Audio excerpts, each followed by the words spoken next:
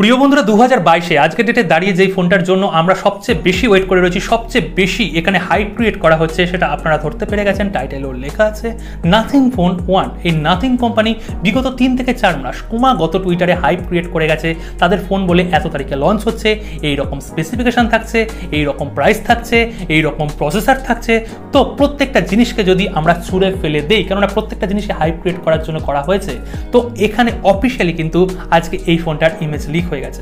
আর officially ইমেজের পাশাপাশি এই ফোনটার স্পেসিফিকেশন কী রকম হবে গ্লোবাল মার্কেটে কি প্রাইসে লঞ্চ হচ্ছে ইন্ডিয়ান মার্কেটে অফিসিয়াল এই ফোনটার প্রাইস কেমন হবে, এবং বাংলাদেশ বন্ধুরা যারা দেখছেন, বাংলাদেশ মার্কেটে এই ফোনটা আনঅফিসিয়ালি কী রকম প্রাইসে আসবে অফিসিয়াল যখন লঞ্চ হবে, কী রকম প্রাইস থাকবে, কেন না কেন না, এই ফোনটা এমন স্পেসিফিকেশন নিয়ে আসছে, এই ফোনটাকে কিন্তু অনেকেই আপনারা প্রেফার করবেন, অনেকেই কিনতে বাধ্য হবেন স্যামসাংয়ের ফোন রিয়েলমির ফোন রেডমির ফোন ফেলে দিয়ে। হ্যাঁ অবশ্যই এই ভিডিওটাকে দেখবেন, এই ভিডিওতে সমস্ত রকমের জিনিস আমি শেয়ার করেছি একটা ভিডিওর মধ্যে ছোট একটা ভিডিও।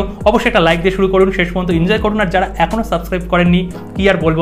সাবস্ক্রাইব করুন নোটিফিকেশন বেলকে প্রেস করে অল করে দিন। তো বন্ধুরা, এখানে নাথিং ফোন ওয়ানের যেহেতু কথা বলছি নাথিংয়ের কথাটা একটুখানি জাস্ট বলে দিই। যারা জানেন না, তাদের বলছি ওয়ান প্লাস এই কোম্পানিটার নাম তো জানেন। এই ফোনটার যে কোম্পানির যে কর্ণধার ছিল, একটা সময় সিইও ছিল, তার নাম কালপাই এই কালপাই কিন্তু এখন ওয়ান প্লাসে নেই, তিনি নাথিং ফোনে চলে গেছেন। মানে নাথিং কোম্পানি কিন্তু তিনি ফাউন্ড করেছেন এবং সেখানে এই মুহূর্তে বসে রয়েছেন। এই কালপাইয়ের জন্যই এতটা এক্সপেকটেশন আমাদের তৈরি হয়েছে।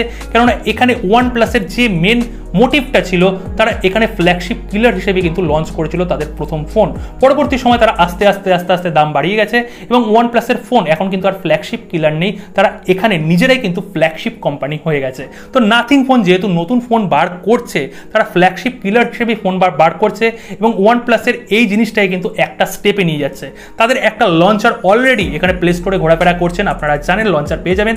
নাথিং লঞ্চার হিসেবে যদি সার্চ করেন, পেয়ে যাবেন এবং এই কোম্পানির একটা এয়ার বার্ডও কিন্তু লঞ্চ হয়েছে অনেক দিন আগে। তো এই দুটো প্রোডাক্ট এই মুহূর্তে ঘোরাফেরা করছে।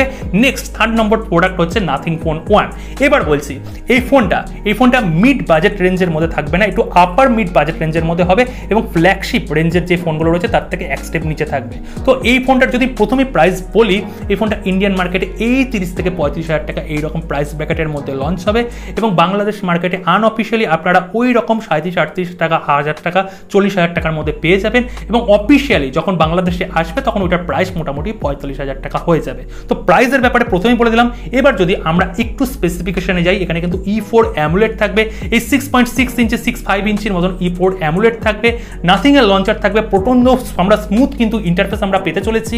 তার পাশাপাশি যেটা শোনা যাচ্ছে, যে কনফার্ম এটা পুরো নাইনটি এইট পার্সেন্ট এখানে যে প্রসেসরটা দিয়ে তারা লঞ্চ করছে, সেটা কিন্তু পুরোপুরি সদ্যজাত স্ন্যাপড্রাগনের নতুন প্রসেসর সেভেন হান্ড্রেড সিরিজের সেভেন জেনারেশন ওয়ান এই প্রসেসরটা দিয়ে থাকবে ফাইভ এন এম বেস্ট একটা প্রসেসর একটা দুর্দান্ত পারফরমেন্স আমরা পেয়ে যাব এই প্রসেসরটার মাধ্যমে। কোনো কোম্পানির ফোন এই মুহূর্তে মার্কেটে নেই এই প্রসেসরটা দিয়ে।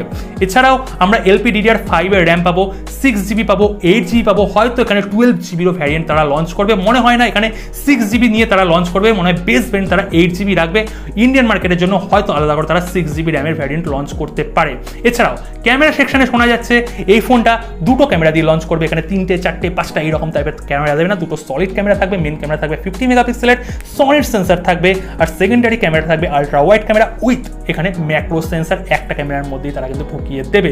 সেটা ধরা যাচ্ছে টুয়েলভ মেগাপিক্সেলের হবে এবং ফ্রন্টে এখানে পাঁচলের মধ্যে আমরা সিক্সটিন টু এখানে থার্টি টু মেগাপিক্সেলের ক্যামেরা পেতে চলেছি। এবার কথা হচ্ছে যেটা কিনা নাথিং ফোনের সবচেয়ে বড় এখানে ইউএসবি সেটা হচ্ছে ট্রান্সপারেন্ট হ্যাঁ ফোন কিন্তু ট্রান্সপারেন্ট হবে। মানে এখানে ফোনের ব্যাক প্যানেল থেকে আপনারা ফোনের মধ্যে কী কী লাগানো আছে, সমস্ত জিনিসের আমি কথা বলছিলাম। আদার মধ্যে যত রকমের কম্পোনেন্ট আছে, এখানে কি কি জিনিস লাগানো রয়েছে? ক্যামেরা সেন্সার থেকে শুরু করে যেটা কয়েল লাগানো রয়েছে, কয়েলের ব্যাপারে আমি পরে আসছি। তো এই প্রত্যেকটা জিনিসই দেখা যাবে। তারা যখন নাথিং এর ইয়ারবাড লঞ্চ করেছিল, সেটাও কিন্তু ট্রান্সপারেন্ট ছিল। তার মানে নাথিং এর যে পরবর্তী প্রোডাক্টগুলো তারা লঞ্চ করে, পরবর্তী যে ফোনগুলো তারা লঞ্চ করে, প্রত্যেকটা ফোনই কিন্তু কম বেশি তারা ট্রান্সপারেন্ট হিসেবে লঞ্চ করছে। এবার ট্রান্সপারেন্টের কথা যেহেতু বললাম, এখানে কিন্তু ব্যাক সেকশন থেকে ওয়ারলেস চার্জারের যে রিংটা রয়েছে, সেই রিংটা আমরা দেখতে পাবো। এই ফোনটার মধ্যে ওয়ারলেস চার্জারও কিন্তু ইনপুট করেছে। তার পাশাপাশি এখানে আমরা থার্টি থ্রি ওয়াটের এখানে আমরা ফাস্ট চার্জিং চার্জিং পেয়ে যাচ্ছি ইনবক্স চার্জার পেয়ে যাচ্ছি এবং এখানে টাইপ সি কানেক্টিভিটি আছে ডুয়েল স্টুডিও স্পিকার আছে three point five M M audio jack হয়তো থাকবে না। যদি সফটওয়্যার সেকশনে কথা বলি এখানে ইনবক্স আমরা অ্যান্ড্রয়েড টুয়েলভ পাচ্ছি এবং পরবর্তী সময় এই ফোনটার মধ্যে চার বছরের আমরা আপডেট পেতে চলেছি। এর মধ্যে তিন বছর আমরা মেজর অ্যান্ড্রয়েডের আপডেট পাবো মানে থার্টিন ফোরটিন ফিফটিনের আপডেট পেয়ে যাব এবং একটা বছর কিন্তু আমরা এখানে সিকিউরিটি প্যাচ লেভেলে আলাদা করে আপডেট পাবো। মানে চার বছর আমরা আপডেট পাচ্ছি। তাহলে অবশেষে এই ফোনটা কবে? কবে এই ফোনটাকে লঞ্চ করানো হচ্ছে? ধরা হচ্ছে এই ফোনটা জুলাই মাসে লঞ্চ হবে মানে আগামী যে জুন মাসে জুন মাসে কিন্তু লঞ্চ হচ্ছে না। জুলাই মাসে এই ফোনটা কনফার্ম লঞ্চ হয়ে যাবে গ্লোবালি এবং এই প্রাইস রেঞ্জের মধ্যে যদি এই ফোনটাকে লঞ্চ করানো হয়, এই ইন্ডিয়ান মার্কেটে পঁয়ত্রিশ হাজার টাকা এই প্রাইস রেঞ্জের মধ্যে, তাহলে হুলুস্থুলু কারবার লেগে যাবে।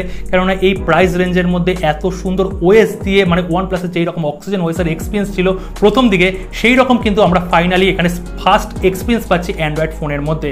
তো ডেফিনেটলি এটা একটা হিট হতে যাচ্ছে এবং পরবর্তী সময় বাংলাদেশে যদি অফিসিয়ালি এই ফোনটাকে লঞ্চ করানো হয়, ওই রকম ধরে রাখুন চল্লিশ থেকে পঁয়তাল্লিশ হাজার টাকা এইরকম প্রাইস প্যাকেটের মধ্যে এই ফোনটা আসবে।